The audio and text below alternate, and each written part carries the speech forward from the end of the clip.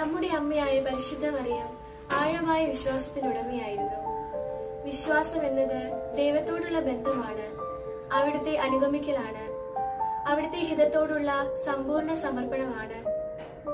Elizabeth പരിശുദ്ധ കന്യകയെ അഭിസംബോധന ചെയ്ത അവസാന വാക്കുകൾ പ്രത്യേക ശ്രദ്ധ അർഹിക്കുന്നു കർത്താവ് അരുളി ചെയ്ത കാര്യങ്ങൾ നിറവേറുമെന്ന് വിശ്വസിച്ചവൾ ഭാഗ്യവതി. ഗബ്രിയേൽ മാലാഖയുടെ അഭിസംബോധനയുമായി ഈ വാക്കുകളെ താരതമ്യപ്പെടുത്തുമ്പോൾ ഒരു യാഥാർത്ഥ്യം നമുക്ക് വ്യക്തമാകുന്നു.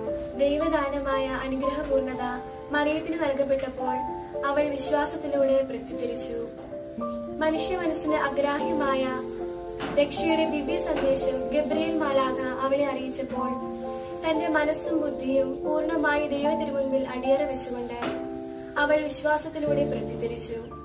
ഇതാ ഞാൻ കർത്താവിന്റെ ദാസി നിന്റെ വാക്കുപോലെ എന്നിൽ ഭവിക്കട്ടെ. വിശുദ്ധ ജോൺ പോൾ രണ്ടാമൻ മാർപ്പാപ്പയുടെ രക്ഷകന്റെ മാതാവ് എന്ന ചാക്രിക ലേഖനത്തിൽ പരിശുദ്ധ മറിയത്തിന്റെ വിശ്വാസത്തെ പഴയ നിയമത്തിൽ അബ്രഹാമിന്റെ വിശ്വാസവുമായി താരതമ്യപ്പെടുത്തുന്നു. പഴയ നിയമത്തിൽ ദൈവത്തിന്റെ രക്ഷാകര കർമ്മം ആരംഭിക്കുന്നത് അബ്രഹാമിന്റെ വിശ്വാസത്തിലൂടെയാണ്. അത് പുതിയ നിയമത്തിൽ പരിശുദ്ധ മറിയത്തിന്റെ വിശ്വാസത്തിലൂടെയുള്ള സ്വയം സമർപ്പണത്തിലൂടെ സമാരംഭിക്കുന്നു.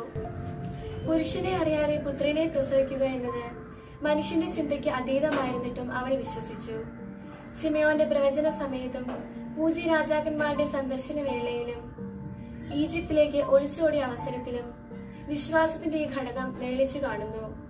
കർത്താവിൽ പ്രിയരെ ചെറിയ പ്രതിസന്ധികളിൽ പോലും ദൈവത്തെ സംശയിക്കുകയും സ്വയം ആശ്രയിച്ച് നിരാശയിലേക്ക് താന്നു പോവുകയും ചെയ്യുന്നവർക്ക് പരിശുദ്ധ അമ്മ ഒരു ഉത്തമ മാതൃകയാണ്. പരിശുദ്ധ അമ്മയുടെ സഹായത്താൽ വിശ്വാസത്തിൽ അനുദിനം വളരാനും പ്രതിസന്ധികളിലും ദുഃഖങ്ങളിലും അരക്കച്ചാരയോട് ചേർന്നിരിക്കുന്നത് പോലെ ദൈവത്തോട് ചേർന്നിരിക്കാനും നമുക്ക് പ്രാർത്ഥിക്കാൻ പരിശ്രമിക്കാം. ദൈവം തന്റെ കൃപകളാൽ നമ്മെ നിറയ്ക്കട്ടെ. പ്രാർത്ഥന